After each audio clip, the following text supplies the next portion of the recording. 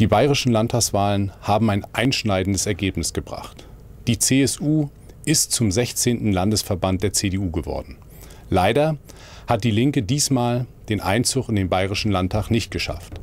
Wir haben einen engagierten Wahlkampf geführt. Nichtsdestotrotz, die Bayern haben sich entschieden, dass sie als letzte eine linke Fraktion in den Landtag bekommen.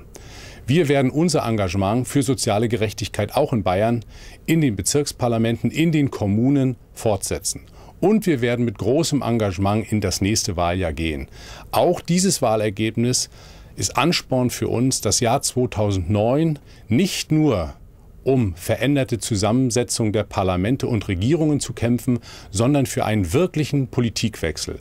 Dafür hat uns auch der Wahlkampf und das Ergebnis in Bayern optimistisch gestimmt auf ein neues im Jahr 2009.